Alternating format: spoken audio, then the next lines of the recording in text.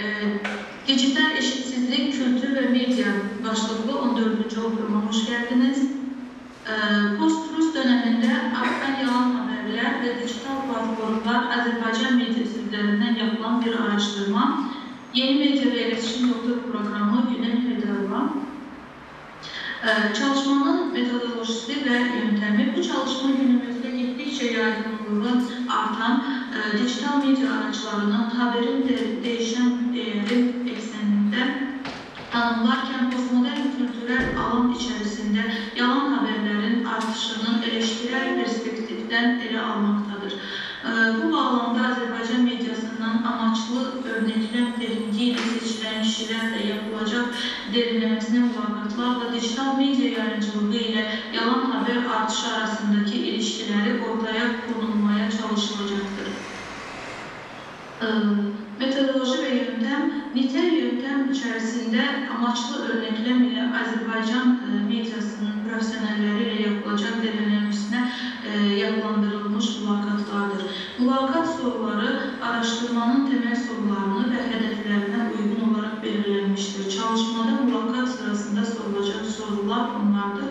Azərbaycan mediasının digitəlləşmə düzeyini nasıl dəyərləndiriyorsunuz? Azərbaycan media quruluşları arasında rəqabət ortamı saxta haberlərin büyüməsinə nasıl etkiliyor? Yurttaş gazeteciliyinin etki alanı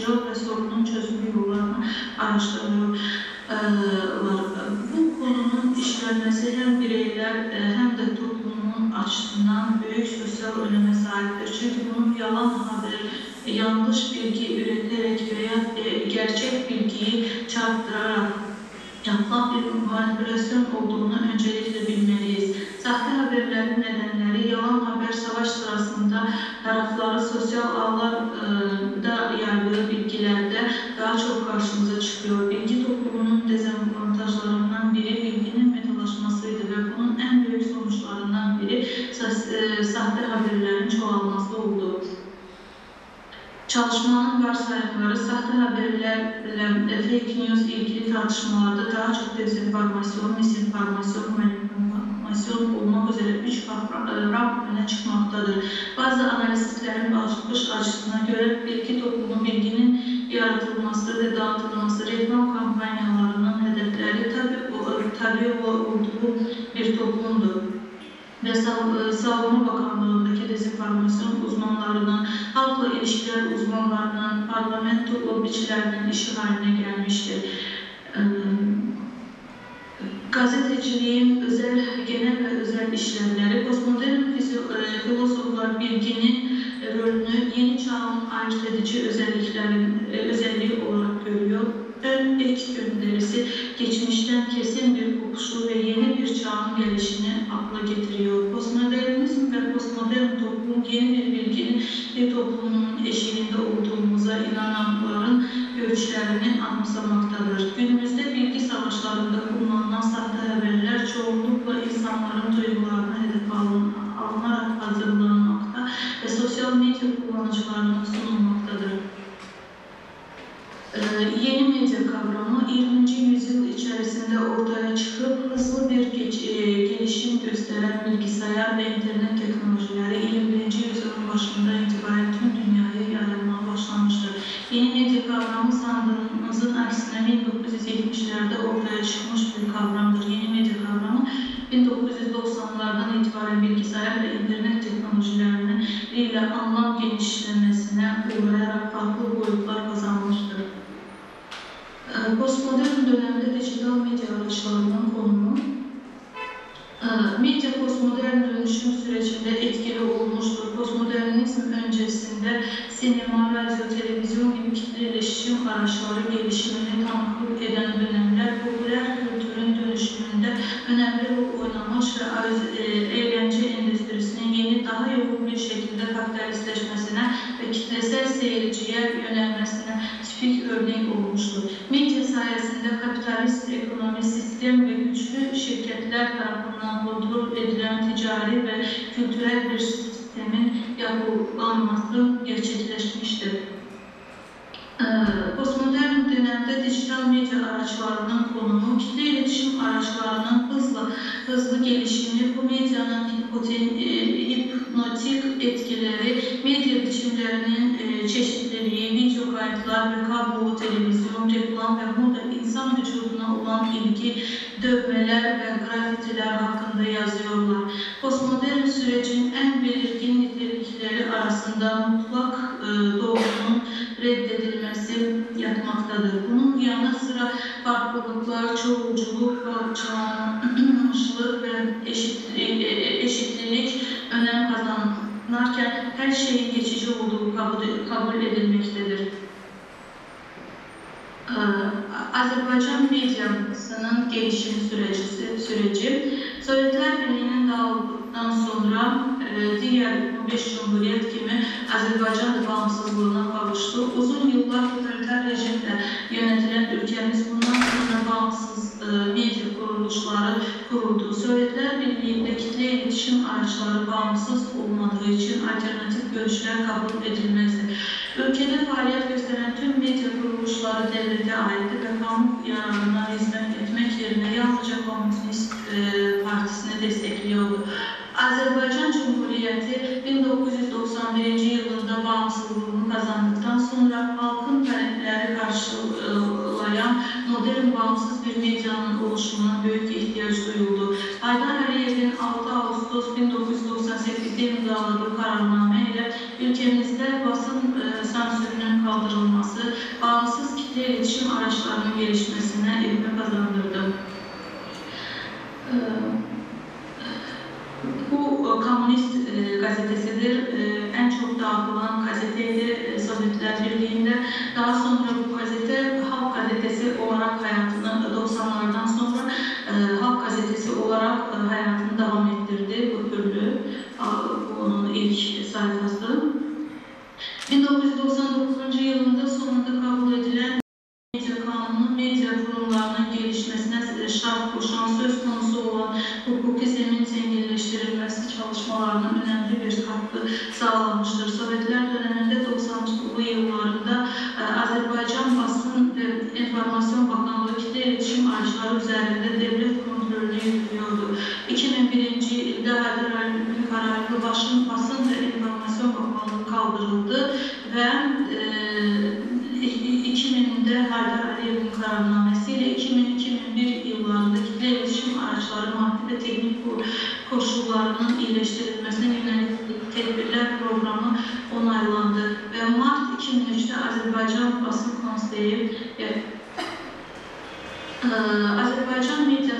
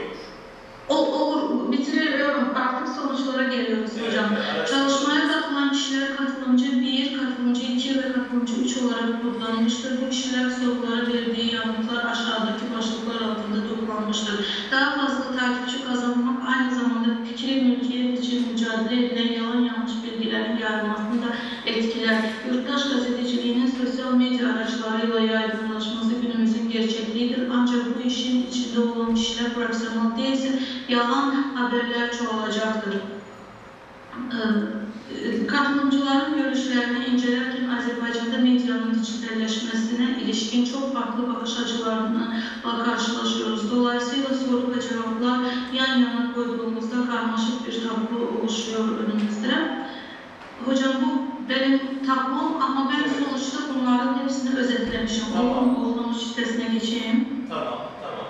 Sonuçta özetlediysen hepsini orada zaten. Evet.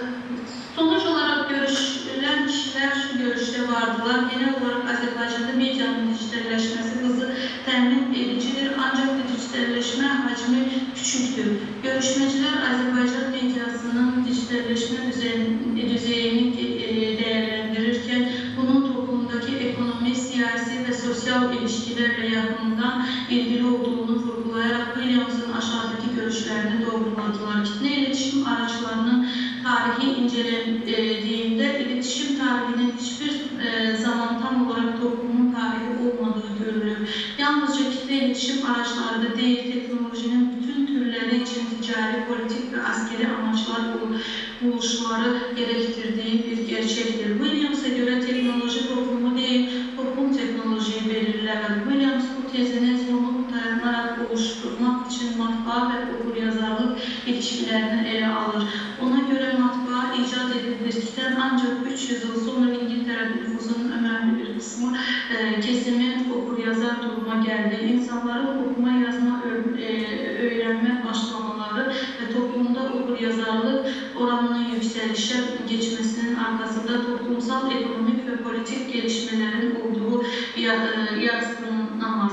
Özellikle de 1970'te çıkan eğitim yasa, e, yasasıyla e- eğitimin zorunlu hale getirilmesiyle birlikte toplumda okul, okullaşma ve buna koşul olarak da okuryazarlık oranı hızla yükselmeye başlamıştır. E, so- e, Görüşmecilerin şu görüş, e, görüşmeciler şu görüşe vardılar. Anında haber yapma hızı ve baskılı, baskısı altında 7-24 haber döngüsü ve anlık haber yapma Ankara'da özellikle savaş zamanında yaşadığımız bir sorun olan aceleci ve yetersiz bilgi faktörüne yol açıyor. Bilgi toplumunun özelliklerinden biri olan teknolojinin gelişmesi, medyanın dijitalleşmesine yol açmış ve bu da sahte haberlerin büyümesini hızlandırmıştır. Örneğin 2. Karabağ Savaşı sırasında Ermeni Rus ve birçok dünya medyasının 44 gün e, boyunca Azerbaycan'a karşı kampanya başlattığı yurt dışında olduk, oldukça güçlü olan Ermeni lobisinin e, siyasi ve ekonomi desteğiyle dünya medyasında yürütülen dezenformasyon kampanyası halen devam ediyor. Web sitelere göre bilgi teknolojileri de yine ayrı güçler sahip olacak. Dolayısıyla bilgiye de yine onlar kullanacaktır. O halde, halde toplumdaki güç ilişkilerinin de daha açık bir anlatımda kapitalist sistemin işle, işinde değişiklik olmadığı sürece dünyanın yeni bir çağa girdiğini söylemek yanıltmak e, ve e, yanıltmadan öte bir şey olamaz.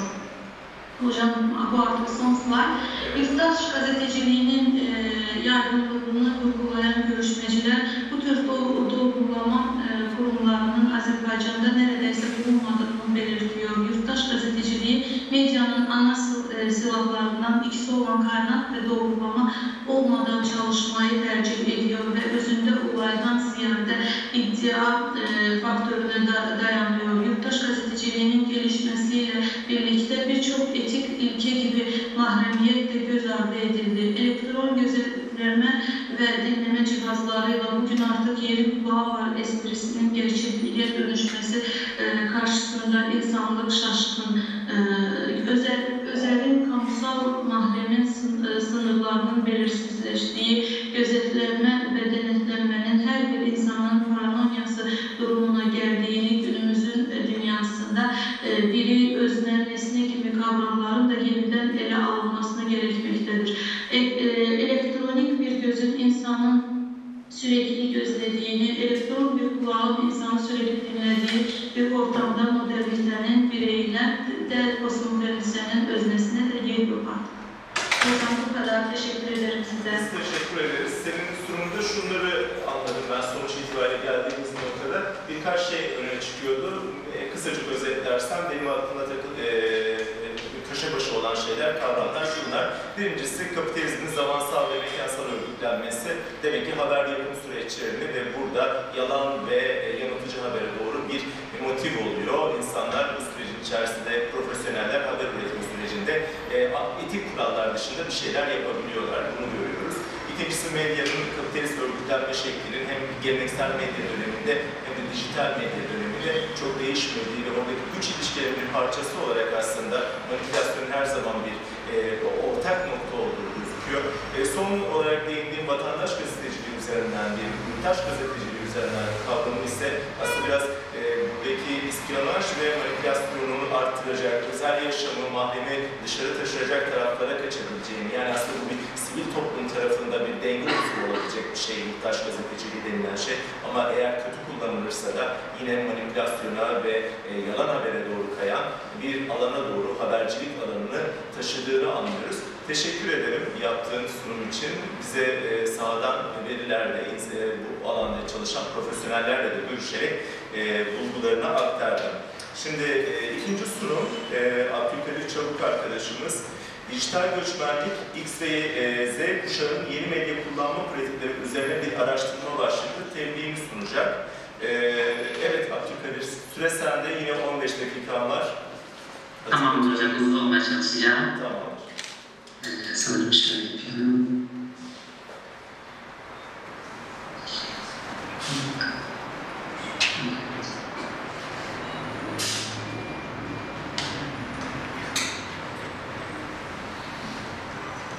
Sayfaya şuradaki karışık konuyu şöyle yapayım. Ee, herkese tekrar e, hoş geldiniz demek istiyorum. E, ben Abdülkadir Çubuk, Üsküdar Üniversitesi Bilim Edebi İletişim Doktora Programı öğrencisiyim. E, bugün sunum konum dijital göçmen medyadaki X ve Z kuşağının yeni medyayı kullanma pratikleri üzerine bir araştırma.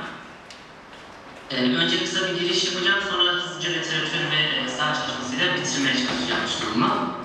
E, teknolojinin kısa bir sürede geçirdiği hızlı gelişim ve değişimler kullanıcı pratiklerini de etkilemiştir.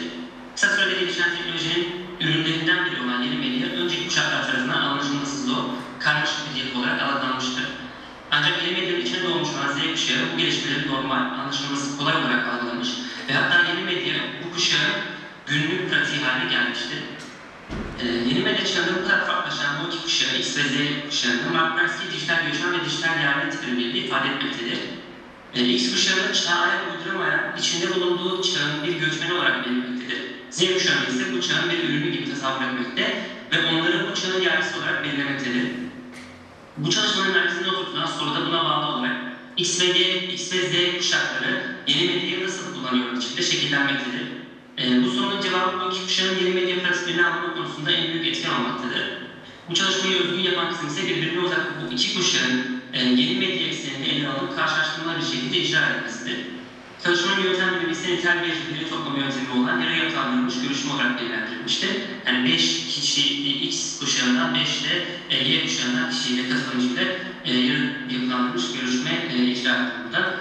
Sonrasında çalış, e, bu çalışmanın kuramsal çerçevesi postmodern teori ekseninde oluşturulmuştu. E, çalışmanın evrinin yeni medyayı tecrübe etmiş olan X ve Z kuşakları örneğin ise İstanbul'da yaşayan ve yeni medyayı tecrübe Z kuşaklarıdır. E, yani ben bunu bu şekilde belirledim çünkü e, zamanla ilgili küçük bir sorunum olduğu için e, hali hazırda tanıdığım kolay ulaşabileceğim kişileri seçtim. Çalışma metni literatürü yeni medya, dijital göçmenlik ve dijital yerlik başlıklarıyla oluşmaktadır. Biri değil, evet. E, yeni medya, e, medya mefhumunun ortaya çıkmasında önemli bir veri olan gazetenin ortaya çıkışı çok eski tarihe dayanmaktadır. Ancak bununla birlikte televizyon, sinema gibi medya araçlarının ortaya çıkışı 20. yüzyılda bulmuştur. 1969 yılında Arpanet ile e, Arpanet ilk defa bir bilgisayardan bir başka bilgisayar mesaj olmuştu ve bunun internetin gelişimindeki en önemli adım olduğu düşünülebilir. Türkiye'de ise ilk defa internet bağlantısı ODTÜ'de 1993 yılında gerçekleşmiştir. İnternetin gelişmesi ve yayılması ile birlikte sinema ve televizyon araçlarında birçok yenilikler yaşanmıştır. E, bu yenilikleri ifade etmek için ise yeni medya kavramı kullanılmaktadır. Artık iletişimin anlık olduğu bir döneme girilmiştir. İzleme pratikleri tamamıyla değişmiştir. İzleyiciler artık hem katılımcı, hem izleyici, hem üretici, hem tüketici konumlarına gelmiştir. E, yeni medyada, e, yeni medya sosyal medya olgusunu da içerisinde muhafaza etmektedir. Sosyal medya ile birlikte özellikle genç nesillerin davranış biçimleri dahi etkilenmektedir. Teknolojik alanda yaşanan bütün bu yenilikler toplumsal, siyasi ve ekonomik başka e, alanlarda ciddi ölçüde etkilemiştir. E, sosyal paylaşım sitelerinin ilk örneği olan sixtables.com 1997 yılında kurulup 2000 almıştır. E, ancak sonrasında bu mantıkla Facebook, Reddit, Instagram gibi ve daha birçok e, sosyal paylaşım siteleri ortaya çıkmıştır. E, bu uygulamalar sayesinde insanlar tanışıyor, kolaylıkla çok uzaklardaki kişilerle anlık mesajlar ve paylaşımlarda bulunabiliyorlar. E, bu durum bazı akademisyenler tarafından eleştirilmektedir. E, çünkü iletişime zarar verdiği, yüz yüze olan iletişimde aktarılan duyguların burada aktarılmayacağı, aktarılamayacağı, e, insanların yüz iletişimi, iletişime zamanla kaçıp internet üzerinden iletişimi tercih edeceği gibi yorumlar yapılmıştı. E, ancak Van bunun iletişimde olumlu bir adım olduğunu düşünmekteydi. Ve yüz iletişimde zorluk yaşayan insanlar için çok rahat bir iletişim biçimi olduğunda ve insanların bu anlık e, iletişimden e, fazla istifade edebileceği için daha fazla iletişime geçebilme ihtimalinden bahsetmişti Van Dijk. E, dijital göçmen, dijital e, göçmen terimi ilk kez Mark Bensky tarafından kullanmıştır. Vaktinin büyük bir bölümünü kitap, gazete okuyarak, radyo dinleyerek geçiren bir önceki nesil tanımlamak için kullanılmıştır. X kuşağı yeni medyayı genç yaşlarında değil, daha ilerleyen yaşlarda tecrübe ettiği, bu alana sonradan ikramlenmiş ve dijital göçmenler terimiyle ifade edilmiştir. E, dijital göçmen bireylerin en önemli özelliklerinin başında ise dijital medya araçlarını etkin kullanamamaları gelmektedir. E, doğrusal okumaları, grafik ve hipermetin okumalarını tercih etmektedirler. Dijital göçmenler içerisinde bulundukları dijital çevreye iyi uyum sağlayanlar da çıkabilir bilgi edinmek için öncelikle basın, basılı materyallerini tercih edenler, herhangi bir teknoloji ürünü ya da programı kullandığı kılavuz veya rehber kullanım, kullanma eğilimindedirler. Ee, bir araştırma için kütüphane tercihleri dijital yerlerden farklıdır. Dijital yerler web kaynaklı araştırma yöntemini tercih ederken dijital ölçmeler kütüphanelere gitmeyi çok daha tercih ediyorlar. Bir diğer hemen press e, terimi olan dijital değerlilik 21. çocukluğundan beri pratik edilen ve vaktinin büyük bir bölümü internette geçiren nesli dijital yerler olarak yerlere odaklanmaktadır. Burası teknoloji ortamı, e, burası teknoloji ortamı doğal, öpeleyici ortamında doğal olurlar ve teknolojinin olmadığı bir ortam düşünemezler. İnternet sadece iletişim kurmak için değil, nitelemek için de kullanmaktadırlar. İnternet bu burasının destekleyici değil, asıl yaşam alanı e, haline gelmiş, haline gelmiştir. Eğlence, iletişim, eğitim gibi birçok konuda burası e, interneti kullanmaktadır. Bu dijital çağda göçmen değil yerlilerdir. Bu çağın getirdiklerini kolaylıkla algılayıp pratik etmektedirler. Yaşanan yenilikle uyum sağlamakta herhangi bir sorun yaşamamaktadır. E, burada çalışmanın amacı, önemi, örnekleme, yöntemleri ve Fransız çerçevesi yer almakta. E, çalışmanın amacı X ve Z kuşağının yeni medya kullanma şekillerini ve bu konudaki tecrübelerini almaktır. E, çalışmanın önemi bu çalışmayı önemli kılan e, iki, bu çalışmayı önemli kılan husus birbirine uzak iki kuşağı yeni medya ekseninde ele alıp postmodern dizileri karşılaştırmalı bir şekilde incelemektir. Aynı zamanda ve Z kuşağının günümüz medyasını kullanma pratiklerini, tecrübe ettikleri olumlu ve olumsuz deneyimleri almakları önem kazanmaktadır. Ee, Çalışma devletinin yeni medya tecrübe kuşağı X ve Z kuşağı ee, çok affedersiniz, kuşakları. Örnekleme ise İstanbul'da yaşayan ve yeni medya tecrübe X ve Z kuşağı. Çalışma yöntem bilimi, e, bilimleri toplama yöntemi olan yarı, yapılandırılmış görüşme olarak belirlenmiştir. Bu kapsamda önceden belirlenmiş 5 Z kuşağı, 5 de X kuşağı katılımcıyla görüşmeler yapılmıştır. Çerçevesi e, Fransız çerçevesi ise postmodern teori olmuştur. Bunun kasıtını tabii ki de seçtim çünkü e, Mark Mansky'in dijital yerli olarak ele aldığı e, profil aslında postmodernitedeki özne. E, çünkü burada artık modernitedeki birey postmodern dönemde özne dönüşüyor ve e, modernitede olmayan e, bireysellik ortaya çıkıyor ve burada da e, işte o gerçekliğin kaybolması postmodernitede buradaki dijital yani profili birebir uyuştuğunu düşündüğüm için özellikle e, postmodern teoriyi e, burada konu almak istedim e, kavramsal çerçeve olarak. Burada e, katılımcılara yönelttiğim sorular bulunmakta. Zaten şimdi onların da tek tek cevaplarını inceleyeceğim. Hızlıca geçiyorum. Z kuşağı katılımcıları nasıl soru olan ilk soru, en hangi cihazı kullanıyorsunuz? E, alınan en çok yanıtta telefon yanıtı olmuştur. Katılımcıların en çok hangi uygulamayı kullanıyorsunuz sorusuna ortak olarak verdiği yanıt Instagram olmuştur. E, bu uygulamaları nasıl kullanıyorsunuz sorusuna katılımcılar çoğu bu şekilde cevap vermiştir. E, katılımcı A, yani bu şekilde aktif olarak sanırım e, katılımcı Katılımcı A genelde gittiğim yerde beğendiğim şeyleri paylaşıyorum. B, Instagram'da kendi fotoğraflarımı ve bazı arkadaşlarımla olan fotoğrafları paylaşıyorum. C, Instagram'da kendi fotoğraflarımı bazen kendi dışında çektiğim fotoğrafları paylaşıyorum. Katılımcı ise Instagram'da kendi min ve arkadaşlarımla bazı fotoğraflarımı paylaşıyorum. Yani genelde e, sosyal bu yeni medya uygulamalarını e, yeni medya cihazı olan akıllı telefon üzerinden ve işte e, kendilerini paylaşarak kullanıyorlar genelde. E, tahmini olarak bir soru aslında bu. Uygulamaları günde kaç saat kullanıyorsunuz şeklinde. E, çoğu 4-5 saat kullanıyorum gibi bir yanıt verdi. E, herhangi bir zorluk var mı bu, bu uygulamaları ve cihazları kullanırken yaşadığınız diye sorduğumda ise e, sorun yaşamarak kullanıyorum. E, sadece katılımcı A bazen telefonun donduğunu ve onun için bunun bir sorun olduğunu e, kendisi için söylemişti. E, bu cihazlar ve uygulamalar size ne gibi faydalar sağlamaktadır? Ve bu uygulamalar ve cihazlar sizce bir ihtiyaç mı sorusuna ise şu şekilde cevap vermiştir katılımcılar. Katılımcı A çoğunlukla eğlendiği için kullanıyorum ancak alışveriş için veya bir konuyu dersle ilgili merak ettiğinde kullanıyorum. O yüzden hem ihtiyaç hem değil diyebilirim. E, katılımcı bir ihtiyaç hem değil ancak ben çoğunlukla ihtiyaç doğrultusunda kullanıyorum. Ödev yaparken alışverişte e, hatta evime yiyecek sipariş bile telefonda uygulamalar üzerinden gerçekleştiriyorum. Ancak kişisel ilerleme için de kullanıyorum. Yani Netflix, YouTube ya da Google üzerinden film ve diziler izlemek için kullanıyorum. E, yani şöyle aslında, şöyle özetleyeyim bu kısmı. E, çoğu tamamen ihtiyaç olduğunu değil de e, kısmen ihtiyaç, kısmen e, ihtiyaç olmadığı görüşünde Z kuşağına katılmışlar. Devamında ise bu cihazların ve uygulamaların genel olarak hayatı daha da zorlaştırdığını yoksa kolaylaştırdığını mı düşünüyorsunuz sorusuna katılımcıların çoğu şu şekilde cevap vermiştir. E, katılımcı A, kullanılan bütün bu teknoloji çok abartılı bence. Bu kadar bir ihtiyacımız olduğunu düşünmüyorum. Genel olarak kolaylaştırdığı yanları var, zorlaştırdığı yanları da var. Sosyal medyaya da ihtiyacım olduğu için kullanıyorum, kullanmıyorum. Ancak çok alışkın günlük olarak ihtiyaç gibi kullanıyorum, zevk alıyorum. E, şeklinde. İşte adamın ise bence hayatı daha karmaşık hale getiriyor. Kolaylaştırdığı yönleri var ancak her şey için bir uygulamanın çıkması ve her yere bilgilerimizi vermemiz hem güvensiz hem daha karmaşık bir durum ortaya çıkarıyor diyor. E, katılımcı ise ben çok ihtiyaç ihtiyacım olduğu için kullanmıyorum. Daha çok keyfim için kullanıyorum. Birçok insanın bu şekilde kullandığını düşünüyorum. Ancak bazı şeylerde ihtiyaç olduğu için kullanılıyor. Yani tamamen değil ama kısmen uygulama cihazlara ihtiyacımız var diye. Bazı şeyler kolaylaştırıyor, bazı şeyler zorlaştırıyor şeklinde belirtti. E, işte aynı soruları tabii yönelttim X kuşağı katılımcılarına.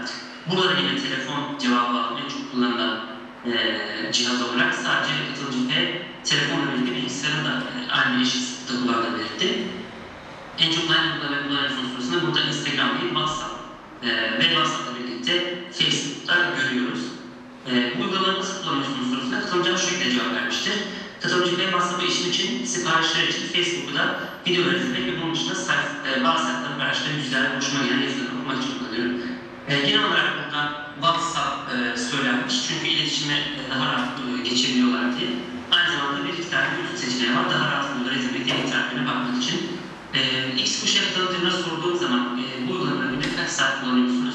Ortalama olarak verdiğim cevap 2-3 saat olmuştu. E, herhangi bir zorluk yaşıyor musunuz bu uygulamaları kullandığınızda? diye şu şekilde cevaplar aldım. E, katılımcı bilgisayarı kullanmaya başladığım zamanlar bir süre sorun yaşadım. Çift kapama konusunda internetin girme ve genel olarak internetin mantığını anlama ancak çok geçmeden e, alıştım ve şu anda rahat sorunsuz bir şekilde kullanıyorum. Alışmam yaklaşık bir hafta sürdü diye tahmin ediyorum diye e, belirtiyor. Katılımcı G ise bu dokunmatik telefonlar biraz karmaşık geliyor. Elim yanlış bir dokunması ekranda farklı şeyler açılıyor ve o an baktığım şey diyor. Bir anda ve geri nasıl oraya gelecek bilemiyorum. Telefonu kullanırken zorlanıyorum. Hani birkaç uygulama var. Bunları kullanırken sorun yaşamıyorum. Aslında benim için söylüyor bunu. E, katılımcı herhangi bir zorluk yaşamıyorum. Aslında arama dışında ya arama dışında kullanmıyorum belki de o yüzden diyor. Ben aslında genel olarak X kuşağının e, biraz zorlandığını görüyoruz. E, ama katılımcı B ise bir alışma sürecinden sonra şu an rahat bir şekilde kullandığını görüyoruz. Abdülkadir Bey, böyle 4-5 dakikan var. Ee, sonuçlarından tamam hocam hemen e, e, geçiyorum zaten çok az kaldı. E, sonuca geçip kapatıyorum hemen. E, bu uygulamalar cihazlar size ne gibi faydalar sağlamaktadır ve sizce bunlar bir ihtiyaç mıdır şeklinde e, soru sorup da cevapları size katılımcıda ben yaptığım iş yeri, WhatsApp'tan ve bilgisayar üzerinden kullandığım bir program var. Ondan çok faydalanıyorum. Fatura kesmek için, siparişleri kategorize etmek için bu uygulamalar çok fayda sağlıyor bana. Bunun haricinde banka uygulamaları genel olarak işleri çok ulaştırıyor. Keza faturaların uygulama üzerine dönmesi ve bana göre e, genel anlamda bu uygulamalar ve cihazlar günümüzde ihtiyaçlı. Yani genel olarak X kuşağı e, ihtiyaç olduğunu söylüyor bu cihazların, yeni medya cihazlarının ve e, uygulamaların. Z kuşağı ise bunun bu kadar da ihtiyaç olmadığını söylüyor. E, bu teknolojik yani ben soruda sorarken orada özel bir yeni medya diye sormadım çünkü e, X kuşağındaki bir katılımcı için e, anlaşılması zor olabilir yeni medya kavramı. O yüzden teknolojik cihaz, teknolojik uygulama olarak belirteceğim. Aldığım cevapları da yeni medyaya göre kategorize ederek buraya yazdım. E, teknolojik cihazları ve uygulamaları genel olarak kolaylaştırdığını yoksa zorlaştırdığını düşünüyorsunuz. Sorusuna sorunca şu şekilde cevap vermiştir. Ve burada genellikle hemen e, toparlayayım. Burada yine bir e, kolaylaştırdığını düşünüyor. E, bu yeni medya cihazlarının ve uygulamaların hayatı X kuşağında. Evet sonuç olarak ben bunu kapatabiliyor muyum şöyle? Çok şükür. Tamam, e, Z kuşağı katılımcıları yeni medya uygulamaları ve cihazlarını daha uzun süreler ve daha geniş çaplı kullanıyor olmalarına karşı yeni medya X kuşağında daha eşler yaklaşığı görülmektedir. X kuşağı katılımcılarının ekstremiyeti yeni medya uygulama ve cihazlarının faydalı ve bir ihtiyaç olduğunu belirtirken Z kuşağı katılımcıları bunların, or, bunların ortaya çıkardığı olası güvenlik zafiyetinden bahsetmektedir. E yine X kuşağının yeni medya cihaz e, ve uygulamalarını kullandığını ancak Z kuşağı bireyleri gibi yetkin ve sorunsuz bir şekilde kullanmadığı anlaşılmıştır. Postmodern çağın barındırdığı dijitalleşme herkese etkilemektedir. X kuşağı mensup kişilerin de her ne kadar olmasına da bu cihaz ve uygulamaları kullanmaları belirlenmiştir. Aynı zamanda bunları olumsuz bir ön yargıyla değil, bu gelişmeleri olumlu bir şekilde yaklaşmaktadırlar. Z kuşağı katılımcılarından katılımcı ağır günümüze dijitalleşmenin geldiği noktaya abartılı olduğunu belirtmiştir. Ee, aynı zamanda kısmen ihtiyaç ve yine kısmen faydalı olduğunu bahsetmiştir. Yine de Z kuşağı için bir destek alanı değil, bir yaşam, yaşam alanı olmuştur. Çünkü X kuşağı için e, bu internet ortamı ve yeni medya cihazları ve uygulamaları aslında bir destek alanıdır. Ve fiziksel içinde yaşanan dünya bir e, yaşam alanı olarak. Ama Z kuşağı tam tersi. E, çünkü postmodern dönemde bu şekilde olması gerekiyor, özneğe göre yani. E, alışveriş için dahi evden çıkmayan ve çok ihtiyaç zevki bir neslin yaratıcılığının sürekli mümkün. Yoksa bahsettiğim öznenin yaratıcılığının sonunun gelmesi durumunu burada gözlemek mümkündür. Buna ek olarak Z kuşağı katılımcılarından yine katılımcı ağının yeni medya hakkındaki eleştirel yorumu, sonrasında sosyal medyayı kullanmaya ihtiyacım yok, ben o kadar alıştım ki ihtiyacım gibi zevk alarak kullanıyorum şeklindeki ifadesi Gökhan'ın postmodern dönem için belirttiği kılık yapışımlarını sona ermesi yönüyle açıklanabilir. Yani tabii üzerinden, kendi çalışmam üzerinden açıklıyor bu çok spesifik şekilde. Ee, Z kuşağı hepsi en çok kullandığınız uygulama ne sorusuna Instagram cevap vermişti. Aynı zamanda bir diğer soru olan bu uygulamaları nasıl kullanıyorsunuz sorusuna ise katılımcıların çoğu kendi fotoğraflarını paylaşıyorum şeklinde cevap vermişti.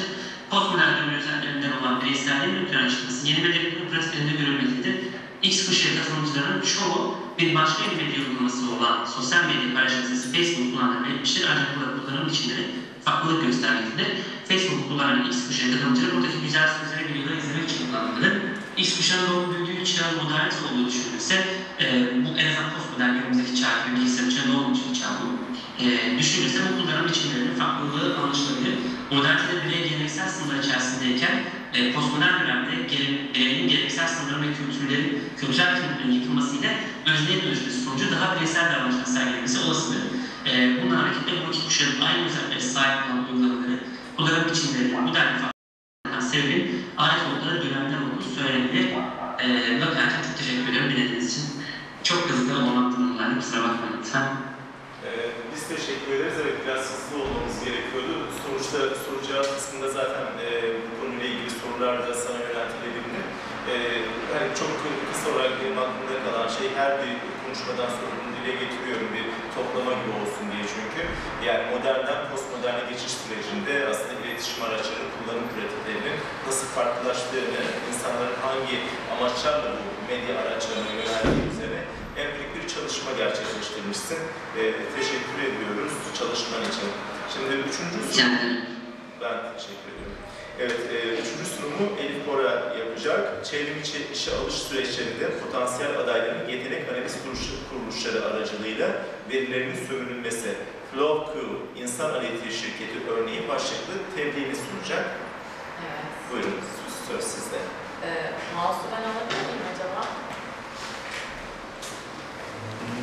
Çok teşekkürler. Öncelikle yine hoş geldiniz. Valla offline'da bize katılıp karşılıklı bir sunum yaptığımız için çok mutluyuz.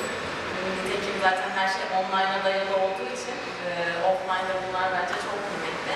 Kısaca kendimden bahsetmek istiyorum. Hem de biraz bir ara vermiş oluruz. Çok her şey oldu. 15 dakikanın içinde kullanıyorum. Etmeyin. Ee, Elif ben. Sabancı Üniversitesi Yönetim Bilimlerinden mezun oldum. Sonrasında e, kurumsal şirketlerde, kurumsal iletişim alanında çalışmaya başladım. Ve e, akademik alanda ilerleme kararı aldığım için yüksek lisansımı Bilgi Üniversitesi'nde marka iletişimi, e, pazarlama iletişimi ve marka alanını tamamladım. Şimdi de doktoraya yeni medya ve iletişim alanında Üsküdar Üniversitesi'nde devam ediyorum.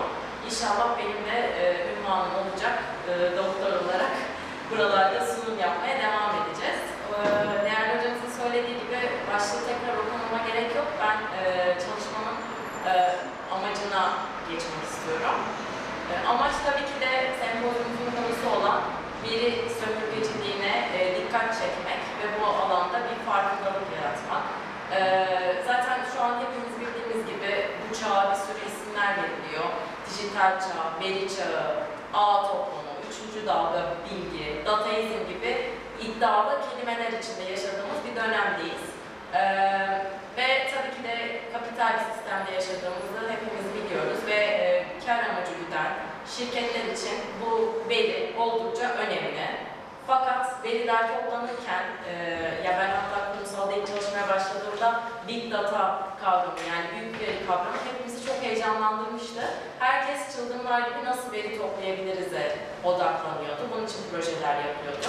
E, ve bu verinin aslında toplanmasına en hızlandıran şeylerden biri hepimizin yakında yaşadığı COVID-19 sonrasında e, iyice bir dijitale göç yaşandı ve e, firmalar bu anlamda e, evlere kapandığımız zaman da son sürat bir şekilde e, dijitale entegre olmaya başladılar. E, bu büyük verilerin önemli şeyi aslında her şeyi somutlaştırabilme ve e, datadan çıkarak e, daha anlamlı kararlar verebilme ve daha e, hızlı karar vermek için büyük veri firmalar için oldukça önemli. E, benim çalışmamda da insan kaynakları olarak e, büyük veri nasıl kullanıldı ve bu sırada insanlarda verilerini neden zorunlu rıza, e, rıza kavramıyla paylaşmak durumunda kaldı onu araştırmak istedim. Ben de e, COVID-19 zamanında bir iş başvurusu yaparken aslında bu çalışma nasıl ortaya çıktı? İş başvurusu yaparken veri analizi yani yetenek analizi şirketiyle tanıştım. E, zaten bunu ilerleyen slaytlarda detaylı anlatacağım. Ve burada e, iş başvuru sürecinde süreci tamamlayabilmek için yetenek analiz kuruluşlarıyla çalışan firmaların zorunlu olarak e, kıldığı aydınlatma verisini e, tikleme e, zorunluluğuyla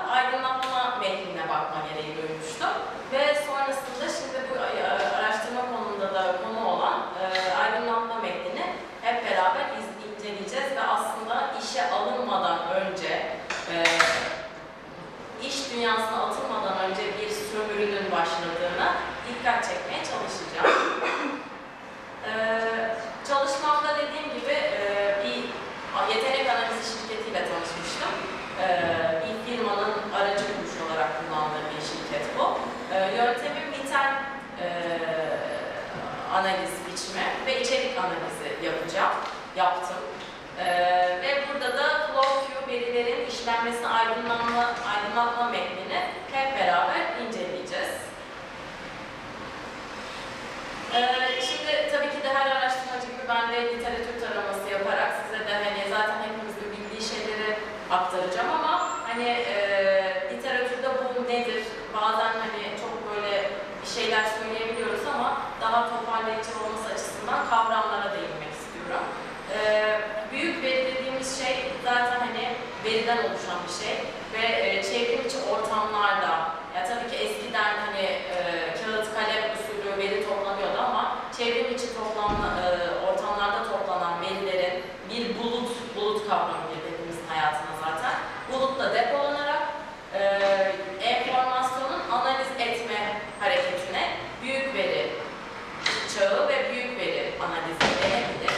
E, akıllı telefonlar, bilgisayarlar, web tabletleri artık zaten bu e, hani akıllı telefonlar hepsine bedel oldu zaten. E, bunun üstünden bizim bütün hareketlerimizi e, bir veriye dönüştürülerek hızlı bir şekilde depolanmasına büyük veri çağı deniyor.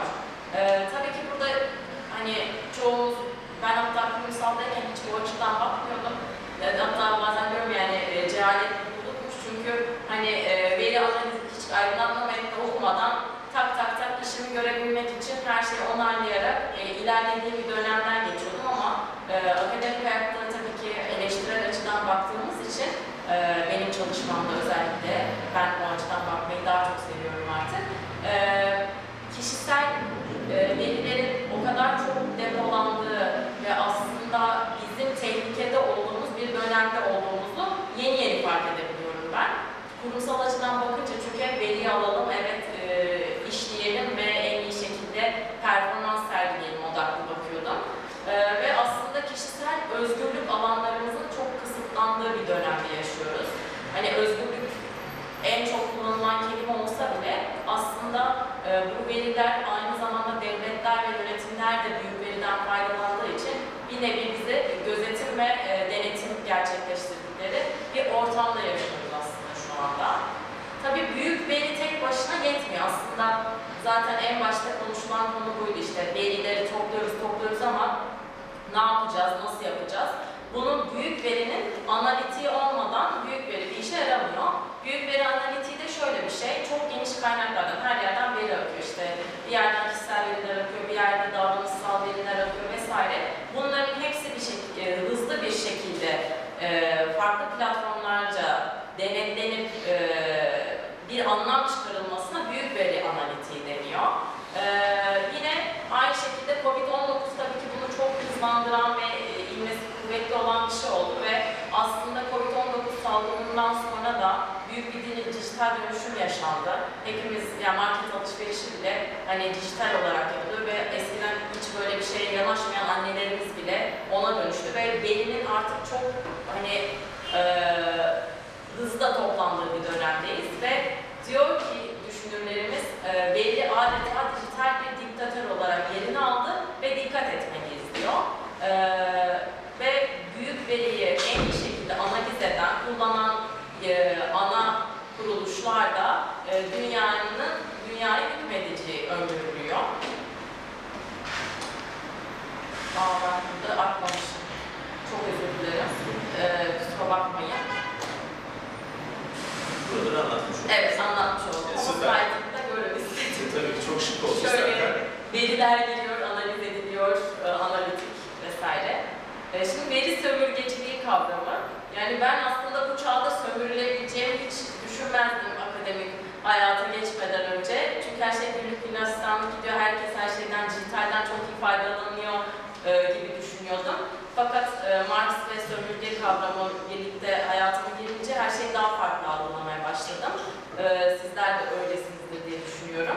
E, yani verinin alınması ve şey yapılmasıyla beraber, şirketlerin veri odaklı olmasıyla beraber e, sonsuz veri toplama grubuna girildiği için kullanıcılar çok fazla önemsenmiyor. Çünkü herkes kendi derdinde, şirketler kendi derdinde. Gizlilik ya da güvenlik ihlalleri çok dikkat edilmiyor ki yeni yasalar oldu fakat öncesinde çok yakın geçmişe kadar bunlar hiç konuşulmuyor bile. Ee, ve büyük firmaların, ana aktör dediğimiz firmaların düzeyde gözetleme yapması ve mahremiyet ve kişisel verilerin ihlal edilmesi konusu aslında bir veri sömürgeciliğinin ana başlıkları olarak değerlendirilebilir.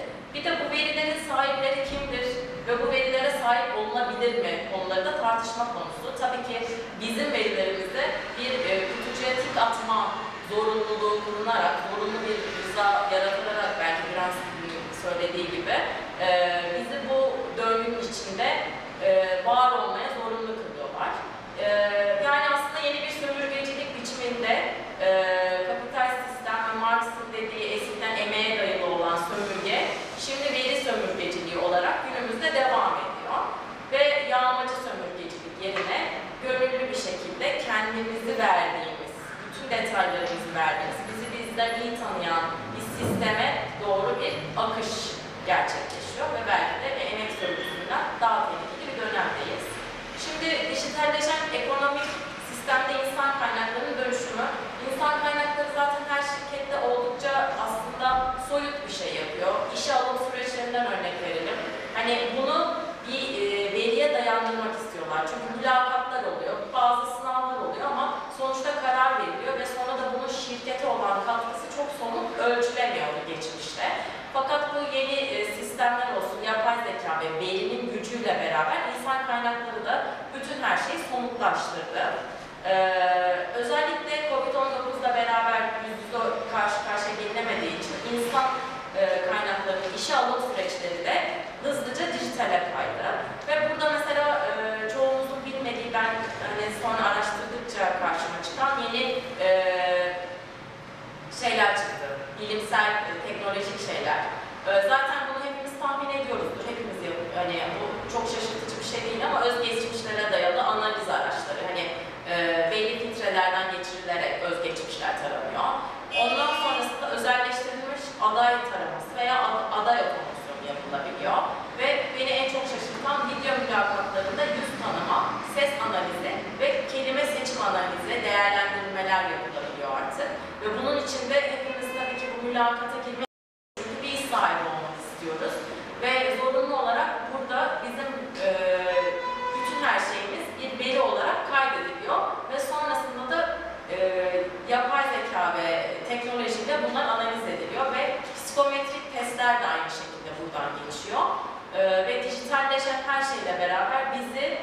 bizden daha iyi bilen bir e, şekilde analiz edilmiş, somutlaştırılmış biz de bir veriye dönüşerek insan kaynakları şir- şirketleri tarafından değerlendiriliyoruz. Ee, tabii bu, e, bu dediğim bütün her şeyi yapan, e, bu dediğim veriler analiz ediliyor dedim ya size hepinize.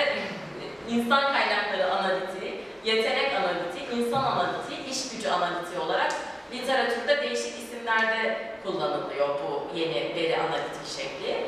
E, FlowQ'dan bahsedeceğim. Benim e, girdiğim şirkette mülakatta FlowQ yetenek analitiği kurul- kuruluşu olarak e, third party olarak e, kullanılan bir şirkette. Bu şirkette e, kendisini işte e, şirket mülakata girecek insanların psikanaliz, e, dil bilgisi sınavlarına sokarak e, verileri topluyor ve e, şimdi sürem azalıyor, biraz gerildim. Yok gerilme. Şöyle or- oraya da koymuşsun görüyorum Evet, ama aynen. ondan bir iki dakika daha fazla vereyim ben. Yani çok teşekkür ederim. Beş dakika. Offline olunca Tamam. biraz şey oldu. Tamam sorun değil. Beş dakika. Ee, hızlı ve düşük maliyette e, dil bilim analizi de yapılarak e, şirketlere bir e, şey sunuyor. Hizmet sunuyor. Flowkio. Evet, teşekkür ederim. Ee, şimdi tabii ki Flowkio bunları yaparken bu datada, datayı analiz edebilmek için e, kendi platformu üstünden, kendi web sitesi üstünden bu hizmeti sunuyor. Ve hizmeti sunarken de Flowkio verilerin işlenmesi aydınlatma metnini onaylamak zorundasınız. İş burada başlıyor ve e, şimdi ben dediğim gibi dijital araştırma şey e, yöntemli içerik analizi yaptım ve metin analizi yaptım ve oldukça kolay bir metin analizi oldu benim için çünkü her şey açık açık e, belirtilmek zorunda olduğu için size nasıl sömürüyoruz ya da verilerinizi nasıl alıyoruz oldukça e, açık bir şekilde anlatmışlar. E, metin analizinde ilk başlığım işlenen veriler. Tabii ki de burada kimlik ve iletişim bilgileri, eğitim ve çalışma bilgileri, değerlendirme araçları, yani şimdi bu kritik araştırma sonuçları envanter anketlerdeki bütün sonuçlar değerlendirilerek bunlar e, veri olarak işleniyor. Testleri görsel denetim kayıtları. Mesela İngiliz için online'da e, çevrim içi ortamlarda mülakat ve sınav yapılırken artık hepimizin kameranızı açık ve e, güvenlik açısından onlara kendilerini güvenliğin altına alabilmek için kameralarımız açık bir şekilde kayıtlar alınıyor. Ve bu kayıtlar da aynı zamanda veri olarak işleniyor ve bunlar e, depolanıyor. Ve bunların sonrasında ne yapıldığına dair de şimdi hep beraber göreceğiz. E, dediğim gibi çevrim içi testlerle veriler toplanıyor, kameralar kullanılıyor, görsel ve işitsel bütün her şey veri olarak işleniyor. Kullandığım bilgisayarın IP adresi ve telefon bilgileri, her şeyin özellikleri yine veri olarak işleniyor ve buralardan veriler elde ediliyor. Ee, ve bu veriler sonrasında doğrudan çalıştığım şirketten de bu arada, çalıştığımız şirket içinden de bu arada veriler elde ediliyor. Sistem entegrasyon edilmiş. Eğer orada çalışıyorsak ki biz daha şu an işe alım sürecinden bahsediyoruz. Yani çalışmadan bu verilere ha- hakim olan firmalar aynı zamanda birbirimizle koordineli hareket ediyorlar. Ve e, rızamızın bulunması halinde ileride başvuracağım şirketler tarafından da bu veriler eriş, erişiliyor. E, zaten rızanın bulunmaması durumu gibi bir ol- durum oluşamadığı için e, zorunlu rızayla bunu da vermiş oluyoruz. E, sadece metine baktığımda bu veriler satılamıyor, kiralanamıyor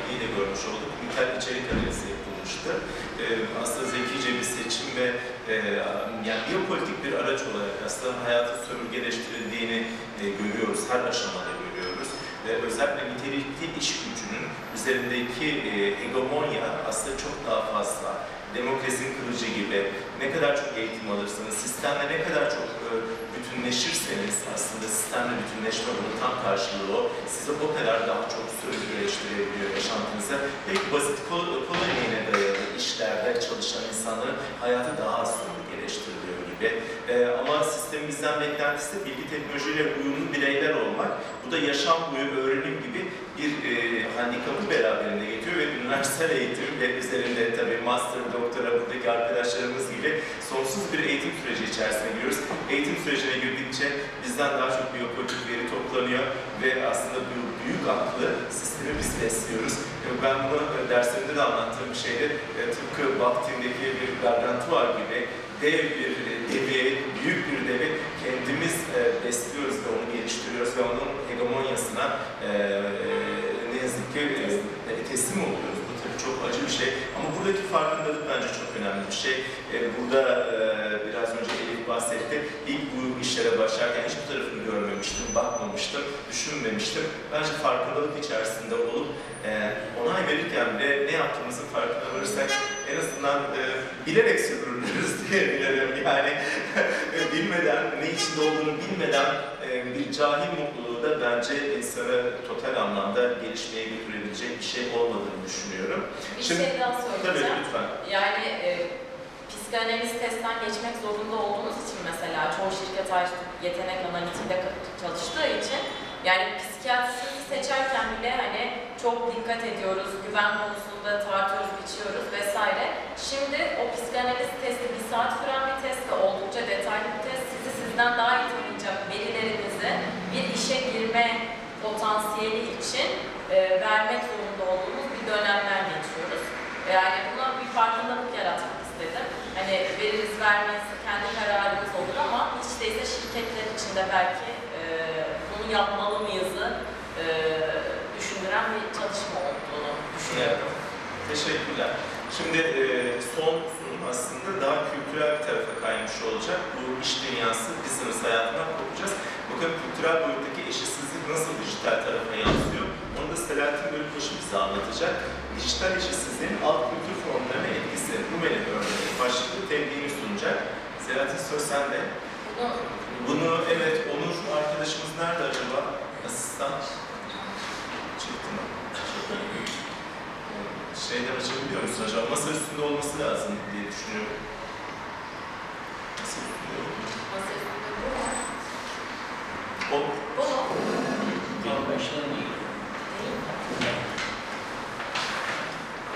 Bu değil, bu şey. Şöyle, şu dosya klasörün içerisinde olabilir. mi? Efendim? Biraz Ben mouse'u vereyim mi? Ha, Ee, Onur, e, diğer arkadaşımızın sunumu nerede? mouse burada. Ben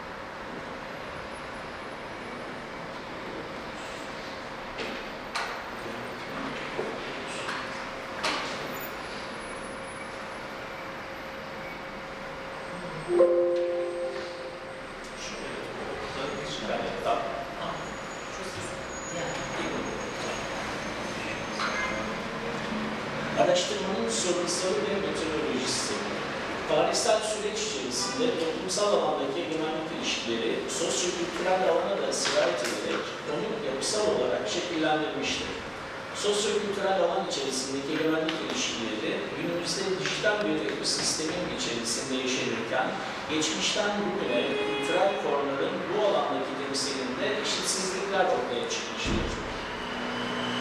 Günümüzde toplumsal çeşitliliği simgelemekte olan alt kültür formları dijital medya içerisinde yeterince temsil edilmeyerek dijital eşitsizliğe maruz kalmaktadır.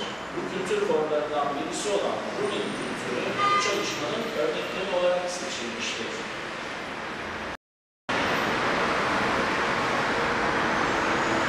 Araştırmanın yöntemi Bu çalışmada nitel araştırma metotlarından yarı yapılandırılmış derinlemesine görüşme yöntemi kullanılarak Rumeli'li birer dernek ve federasyon başkanıyla Zoom üzerinden görüşme yapılmıştır.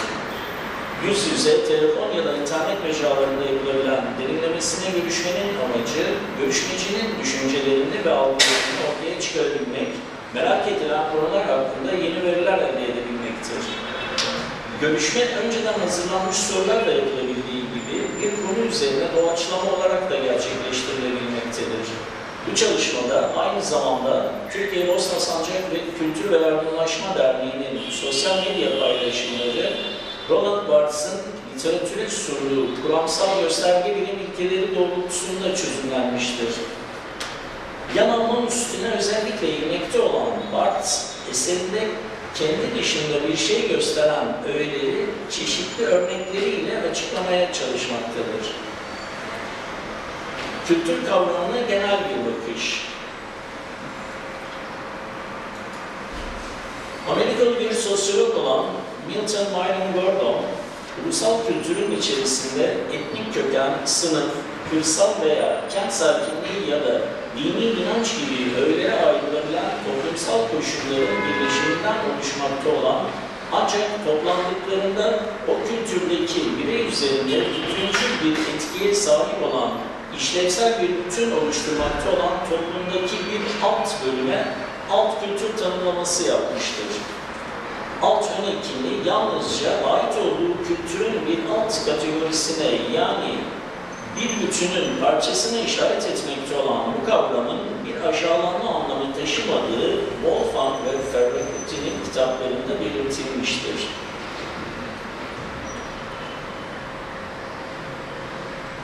Nesilden nesile aktarılacak olan yazınsal eserlerin anlaşılabilmesi ancak o kültüre ait olan dilin korunabilmesiyle mümkündür.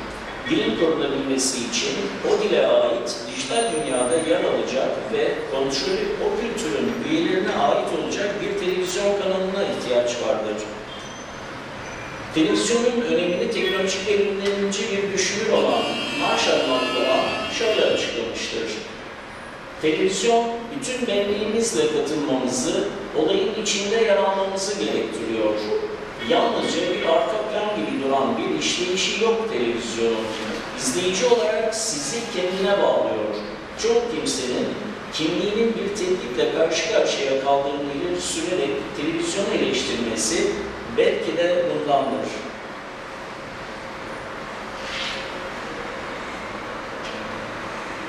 Dijital eşitsizlik. Yapılan araştırmalar sonucunda TRT'nin kurmuş olduğu tüm televizyon kanalları içerisinde 2006'da TRT Kürtçe olarak kurulan ve 2015'te TRT Kürdi olarak adı revize edilen kanalın dışında başka hiçbir alt kültür formuna ait televizyon kanalına rastlanmamıştır. Eşit olmayan uygulamanın farkına 16 yıl sonra varılmış olunmalı ki Türkiye'de yaşanmakta olan milyonlarca yaşamakta olan milyonlarca Rumeli ile Balkanlardaki yakınlarını kaynaştırmak amacıyla TRT, TRT Balkan adlı bir haber sitesi kurmuştur. Profesyoneller tarafından hazırlandığı görülen haber sitesinin künyesi incelendiğinde sorumlu bir kişi veya ekiple karşılaşılmamıştır. Bu haber sitesindeki en büyük eksiklik bu sitenin varlığından Türkiye'deki ne Rumeli Federasyonlarının ne de Boşnak derneklerinin haberinin olmasıdır. Haber sitesinde profesyonellerin yanında kültürel bağı kurabilecek kişilerin de yer alması gerekmektedir.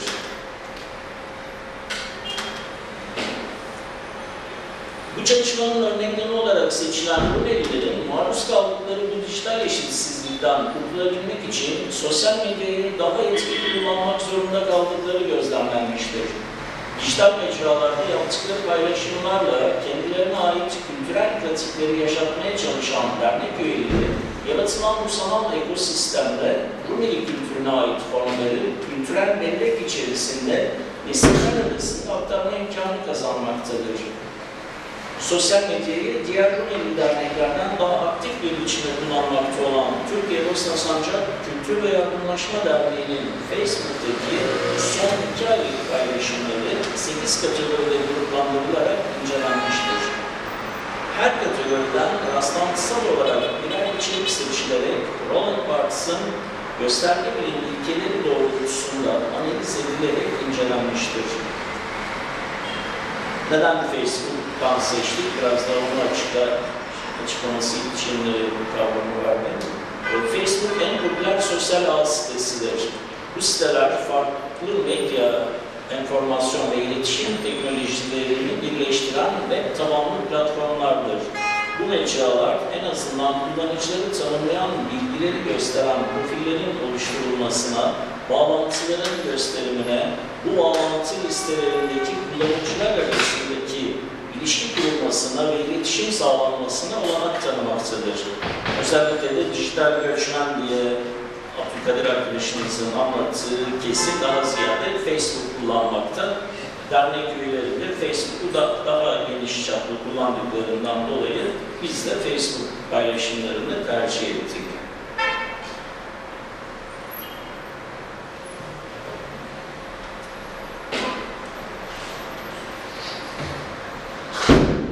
Sekiz paylaşım içerisinde birinci paylaşımımız arkadaşlar kültürel etkinliklerden e, Burada Roland Barthes e, sizler de bildiğiniz gibi e, gösterenler, gönder, gönderdiği sistemleri ve analiz olarak e, içerikleri incelemektedir. Biz onun üzerinden çalışmamızı yaptık.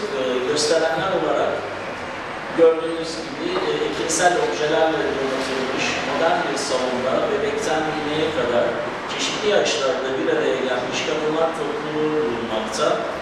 Gönderdiği sistemleri olarak da ekinsel objeler, samimiyet, sıcaklık, mutluluk, birliktelik, bebek, anne, nine gibi objeler söyleyebiliyoruz. Ee, analiz ettiğimizde bir yörenin kültürünü yaşamak, yaşatmak ve gelecek nesillere aktarabilmek adına hemen hemen her yaştan kadını buluşturan Bosna Sancak Derneği'nin modern salonunda kültürel yemeklerin ikramını gösteren ve kültür gösteren bir kültürün fotoğrafı. Kültürün yaşayarak öğretildiği mesajını aktaran bu anlamlı fotoğrafta her şey boşnak kültürünü hatırlatmakta. Diğer paylaşımları e, detaylı bir şekilde okumayacağım arkadaşlar zaman istiyorum. Evet, e, yani altı dakikalar falan var. Aynen, aynen. E, Her biri tek tek bakabilmemiz çok mümkün değil. Belki görselleri görebiliriz. Yani şöyle bir herkes e, imgelerini görürse. Şöyle derneğin e, bu görsel seçimlerden önce dernek başkanlarının yaptıkları bir toplantı görseli. O toplantıda dernek başkanları e, temsil edilmek istediklerini vurgulamışlardı. Geçiyorum. E, bu da camia içerisinde öne çıkan isimlerin onurlandırılması için yapılan paylaşımlardan alınmış bir paylaşım. Şekip Abdageç Beyefendinin e, başarısını gösteren bir paylaşım. E, Burada dernekte e, kültürel etkinliklerin yanında aynı zamanda sağlık temalı etkinlikler gibi değişik değişik temalar incelenmekte. Ancak şurada e, şunu söylemeden geçmeyeyim. E, Program için sadece şu hazırlanmışken arka fon olarak seçilmiş olan kısma lütfen dikkatlice siz de bakın. Sonuç kısmında buralara değineceğim. Şimdi zaman harcamayalım. E, Burada derneğin öğretmenler gününde yaptığı kutlama, derneğin alt salonu büyük bir salon. Hatta orası düğün için gibi değişik toplantılar için de kullanılabiliyor. Dernek öğretmenler gününde dernek çevresindeki okullarda görev yapmakta olan öğretmenleri toplayıp orada bir gece düzenlemişti. Yemekli, eğlenceli bir öğretmenlerimize güzel bir gece yaşatmıştı. Yan anlam olarak derneğin yalnızca kültürel çalışmalar, üyelerle birlikte olmak gibi çalışmalarının olmadığı, Türkiye gündemini yakından takip edildiği ve toplumun her değer verdiği durumlara en üst mertebeden saygı duyulduğu gösterilmiştir. Burada derneğe yine seçim dönemlerinde gelen siyasilerin e, vermiş olduğu bir fotoğraf. Tabii tanıdığımız siyasiler yoktur. İlçe bazlı daha ziyade siyasiler bunlar. Bakırköy Belediye Başkan Yardımcısı siyasilerimiz. Burada bir dernek, hatta bir e, boşnak kökenli bir dernek olmasına rağmen Burada asıl anlatılmak istenen şey sonuç kısmında da söyleyeceğim ama burada geçmeyeyim.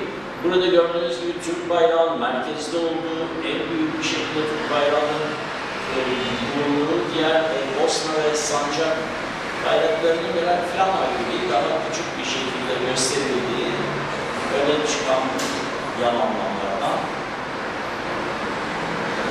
Paylaşımda da dernekte bazı firmalar e, dernek üyelerine indirimli satışlar sunabilmek için dernek başkanıyla bu tür anlaşmalara giriyorlar. Hem kendi reklamlarını yapıyorlar hem de dernek üyelerine ekstradan bir indirimde bulunuyorlar. Burada da Gaziantep'te dernek başkanı, burada dernek başkanı, burada Profesör Doktor Sedat Ziyade, Cerrahpaşa Tıp Fakültesi'nde kendisi hocalık yapmaktadır. Dernek başkanları ve e, Gaziantep valisiyle orada bir okul yapmak için sözleşme imzalanmış.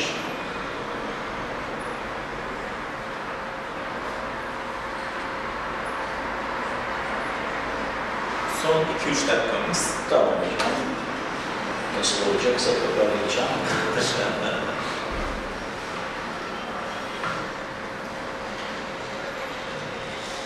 Arkadaşlar, e, Rumeli başkanlarla ayrıca derinlemesine görüşmeler yaptım. E, tabii bu artık bildiride bunları geniş geniş okuyacaksınız inşallah.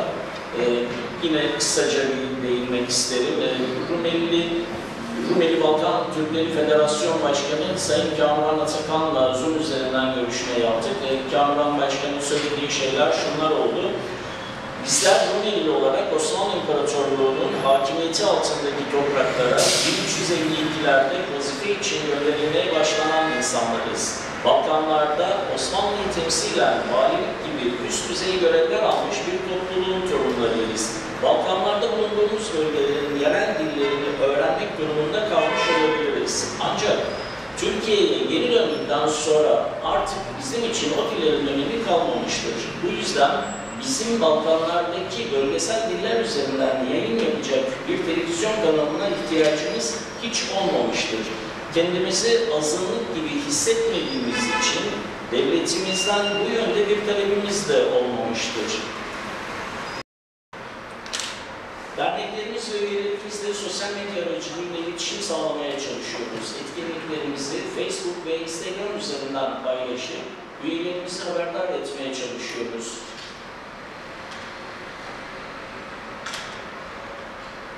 Ancak Türkiye'de 30 milyon bulan Rumeli asıllı vatandaşımızla yeterince irtibat kurabildiğimizi düşünmüyorum. Bunu geliştirebilmek için Rumeli Üniversitesi ile yeni bir proje hazırlığı içerisindeyiz. Rumeli Üniversitesi'nin konferans salonunda düzenleyeceğimiz etkinliklerin yayınlarını YouTube üzerinden kuracağımız bir televizyon kanalında paylaşmayı hedefliyoruz. Kısa sürede bu projeyi gerçekleştireceğiz derinlemesine görüşmeyi diğer dernek başkanımızla yaptım. O da hemen hemen aynı şeyleri söyledi. Ee, ayrımcılık olmasın diye bir televizyon kanalına ihtiyacı olmadıklarını belirtiyor başkanlarımız. Ancak e, kendileri de kabul ediyorlar ki iletişim hukukunu sağlayamıyorlar. Bunun için YouTube üzerinden bir kanal kurdu. Diğer federasyon henüz kanal kurma aşamasında ve Üniversitesi ile diyalog halinde. Yani çabaları var, yani istemiyoruz diyorlar ama yani o eşitsizliği de derinlemesine bir şekilde yaşıyorlar maalesef. Bitti mi? Bitmedi ama bitirmedi. Teşekkürler. Yarım saat daha sürerdi. Yani bakıyorum ama şimdi her, evet, herkes şey, e, zaman sınırlamasını çok iyi biliyor aslında. Soru cevap için bize e, bir şey verecek, zaman e, imkanımız olacak. Bu çalışmanın bence önemli tarafı e, birincisi yöntem bilimsel anlamda e, mix bir yöntemin kullanılması hem e, gösterge bilimin hem de sahada yapılmış bir çalışma, yere yapılandırmış sorular üzerinden. Yani şu zaten açık olarak gözüküyor. Bütün alt kültür formları, aslında dijital eşitsizlik denilen şey dijital alanla ilişkili bir şey değil sadece fiziksel alandaki eşitsizliğin bir devamı. Kültürel pratiklerde gündelik hayat içerisinde yeşerdiğine göre gündelik hayattaki e, alt formlarının kendini ifade etme alanlarının sınırlı olmasını e, biz e, keza e, ana akım medyada da görüyoruz. Dijital platformlar belki bu alanlarda bir e, şans yaratabilir, bir e, kültürel sembolik e, değiş tokuş ortamı oluşturabilir e, kanısına edindim ben burada. Görüşme, özellikle mülakat yaptığımız kişilerle görüşmelerde. E, şey de dikkatimi çekti, biraz önce bahsettiğim gibi yani küçük hatırlatmak için söyledim.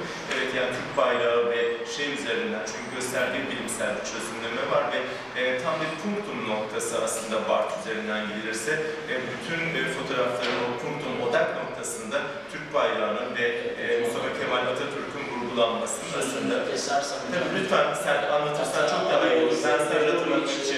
Bosna'nın lideri, Evet. Türkler de sever, herkes sever. Onun dahi fotoğrafı dernek e, binasının içerisinde çok azdır. Kenarlarda köşededir. Merkezlerde hep Atatürk posteri, Türk bayrağı öne çıkar. Gördüğünüz burası başkanın odası, dernek başkanımız e, Sedat Bey. Arkasında Aynen. Atatürk posteri ve Türk bayrağı. Bütün fotoğraflarda benim o çok dikkatimi çekti. Kendi yerel flamaları, küçük o simgelerinin yanında aslında çok büyük olarak merkezde her zaman bir Türk bayrağı görülüyor. Bu da aslında ideolojik yönseme yani kendilerini konumlandırdıkları yer, aidiyet, ait hissettikleri yer. Çünkü kültür ve kimlik kavramı bunlar da çok önemli ilişki içerisinde görüyoruz. Çok teşekkürler Selahattin.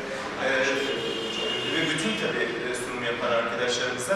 Şimdi e, Onur arkadaşımız asistan burada mı acaba? Çünkü Günel ve e, şeyi de görebilirsek e, yeniden Zoom üzerinden görmemiz mümkün mü? Arkadaşlar bir şeye, evet, seslenebilir misiniz? Çünkü soru cevap da onlara da soruluyor yani dilediğinde. Şu anda gayet e, zaman sınırını soruluyoruz. Şu anda 17.30, 15-20 dakika soru cevap kısmı var. E, herkes istediği soruları yağdırabilir.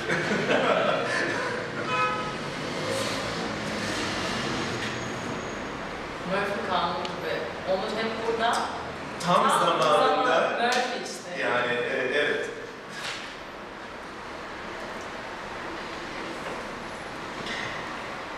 Dijital olunca böyle oluyor. Şimdi fiziksel bir şey olsa hiç sorun yok. Buradan devam edecektik biz. Evet, çıkar mısın lütfen? Yani yeniden Zoom tarafına gelebiliyor muyuz? O Zoom'u tamamen kapatıldı mı? Onu bilmiyorum ben şu anda.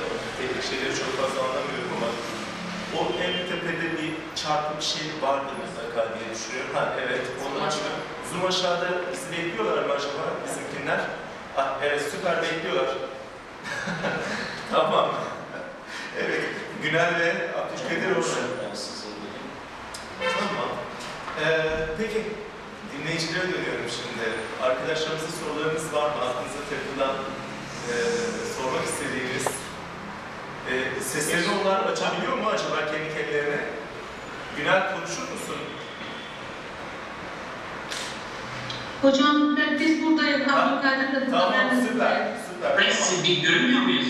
Evet, evet, bizi göremiyorsunuz. Benim o tarafa geçmem gerekir ama komik bir durum olur. Beni yeteri kadar görüyorsun zaten Afrika'da. Biraz daha Sadece sesimi duy şimdi. bir şey olmaz. Peki, evet, e, soru, evet. E, hocam ben Elif Hanım'a sorusu. E, çalışmanızı hazırlarken ilgili alanın literatürü hakkında e, bir soru olacak. Nasıl bir literatür var? Daha çok tanıtmaya mı yönelik, eleştirel mi, hukuki bir... Geri sömürgecilik Aynen. hakkında mı? Hukuki Daha- makaleler var mı? E, muhakkak vardır. Zaten günümüzde şu an hani sempozyumumuzun konusu olduğu için de hani en popüler konulardan birisi e, eleştirel veri sömürge, sömürge kavramını duyuyorsak zaten yanlışım olursa lütfen düzeltin.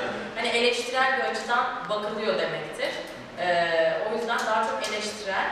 Hani veriyi sömürge kelimesiyle birlikte görüyorsak eleştirel. Verinin çok iyi bir şey olduğunu görüyorsak zaten pozitivist, liberal bakış, bakış açısından e, irdeleniyor demektir. O yüzden ben baktığımda hepsi de eleştirel.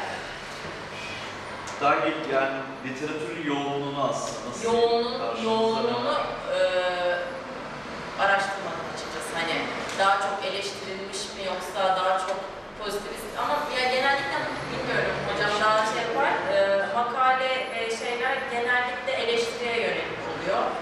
E, literatürde. Yani aslında ya benim... Biraz hocamdan destek istiyorum.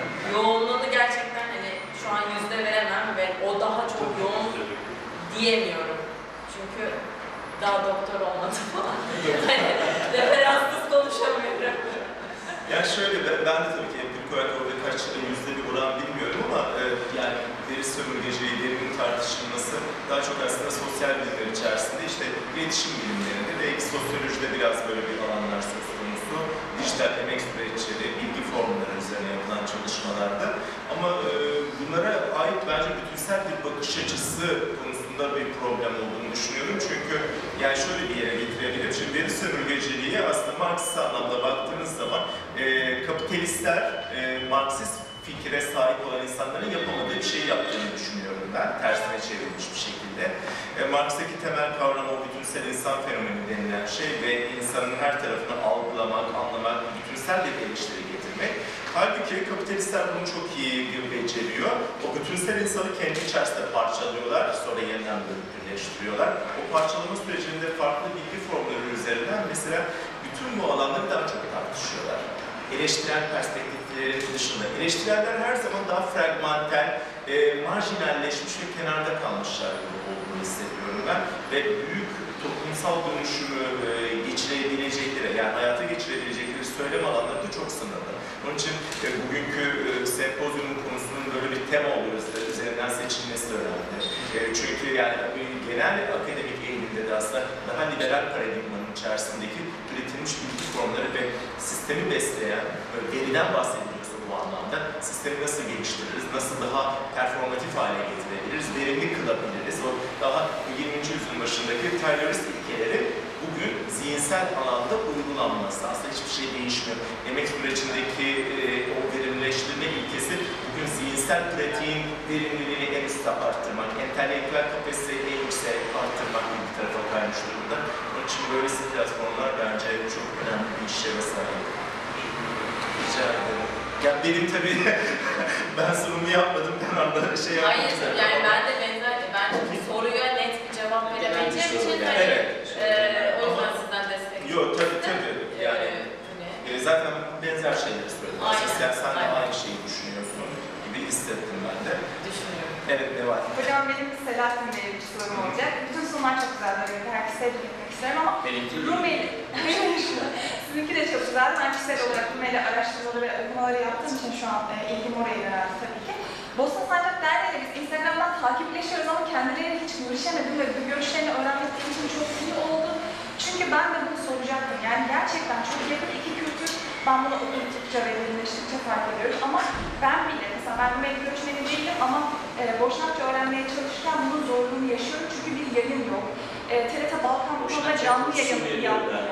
Ee, evet, oralardan e, erişebiliyorum ama normal erişebildiğim bir kanalın olmaması beni mesela zorluyor. Bu anlamda ben onların e, böyle bir şey yapmak isteyip izin alamadıklarını düşünmüştüm ama böyle bir girişimlerinin hiç olmamasını siz nasıl değerlendiriyorsunuz? Ben çok şaşırdım bu genel başkanın denilmesinde bir düşmede yaptığı açıklamayı okuyamadım zaman açısından. O biraz daha e, sert bir açıklama yaptı. Yani ayrımcılıktan çekindikleri için öyle bir talepte bulunmuyorlar. Hatta şu anki başkandan önce ben e, 2010'lu yıllarda daha o dönemde iki başkana sormuştum. Başkanım niye siz de böyle bir talepte bulunmuyorsunuz diye. Biz de işte o, dönemler daha ağır olaylar vardı biliyorsunuz. E, O yüzden biz demiş ayrımcı olmak istemiyoruz. O yüzden böyle bir kanal aslında yoksa teklif etmişler hatta. Zahit e, Başkan var, Zahit Başkan'la konuşmuştum önceki başkanlardan. Bize teklif geldi dedi ama e, onu biz istemedik dedi. Böyle bir ayrımcılık olacak diye. Tabii bu off the record bir önceki görüşme. Kendisiyle daha sonra bir görüşme yapıp e, bu bildiriyi inşallah makaleleştirmek de istiyorum. Evet, Biraz olsaydı daha- çok iyi olurdu. Ben Biraz sadece daha genişleterek. O, ben öyle hissediyorum çünkü çalışmalar sırasında. Teşekkür ederim. Evet başka sorusu olan var mı acaba? Soru yok gibi. Anlıyorum. O zaman tam zaman dilimine uyduk. Hatta 5 dakika önce tamamladık. O yüzden biraz daha konuşabiliriz. Biraz daha evet. Söz almak isteyen varsa tabii konuşabilir.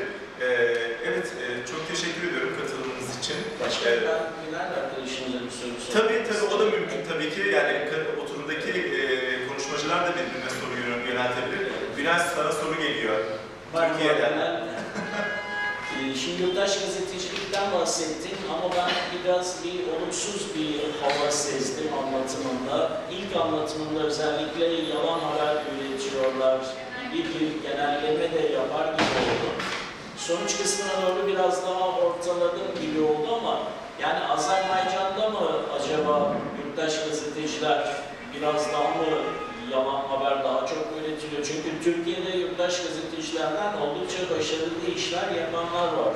Yani Metin Cihan Süleyman hocamız paylaşıyor kendisini.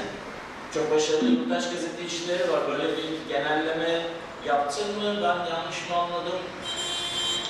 Ee, teşekkür ederim ee, Selahattin. Ee, Selahattin Derim'de soru soru soru öyle mi? Evet. evet. Teşekkür ederim soruya göre Selahattin. Ee, evet bizde daha çok profesyoneller tarafından yapılmayan medya e, yani e, gazetecilik çok iyi karşılanmıyor. Ee, be- benim de muhakkak sorularımı cevaplayan insanlar profesyoneller olduğu için onların cevapları ben de o, o yüzden kendim Bakü Devlet Üniversitesi'nde ders veriyorum biliyorsunuz. Ben de onlarla aynı fikirdeyim ki e, onlar bunun eğitimini ve bu yüzden onların e, sonuçta yani büyük ben e, razıyım. E, yani olabilir ki 100 faizden 10 faizi e, yani iyi bir iş çıkarabilir. Ama büyük kısmı e, hayır e, çok büyük sorumlu e, yani gazetecilikle biz karşılaşıyoruz. E, yurttaş gazeteciliğiyle e, karşı karşıya durduğumuzda evet Azerbaycan'da büyük bir sorumlu gazetecilik. Teşekkür ederim. Peki. O soruna geldik. Herkese katıldığı için çok teşekkür ediyorum. Onur Hocam e, şey katılım belgeleri artık dijital gönderiliyor. Dijital bir yatırış yapacağım. Tamam. PDF gelecek. Ee, Türk kişinin imzamızı da aldıysak alırız. Aldık. Tamam. Böylece oturumu bugün sonlandırıyoruz. Umarım başka bir el etkinlikte sallasın ya. yine, yine bir arada oluruz bir başka akademik etkinlikte. Çok teşekkür ediyorum için. Bir fotoğraf alalım aslında. Ne yapalım